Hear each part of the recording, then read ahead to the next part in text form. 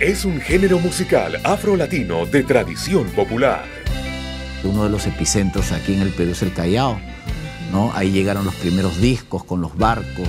Originalmente fue afro-cubana por la vivienda y por donde se tocaba esta música en los barrios pobres de Nueva York. La con, el, el bongo, el timbal, el piano y el bajo para lo que es la sección rítmica y bueno, los trombones, pues que son instrumentos muy característicos de la salsa. De la salsa de barrio a la salsa social.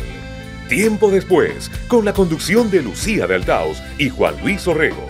Este jueves a las 11 de la noche, solo por TV Perú, mucho más que ver.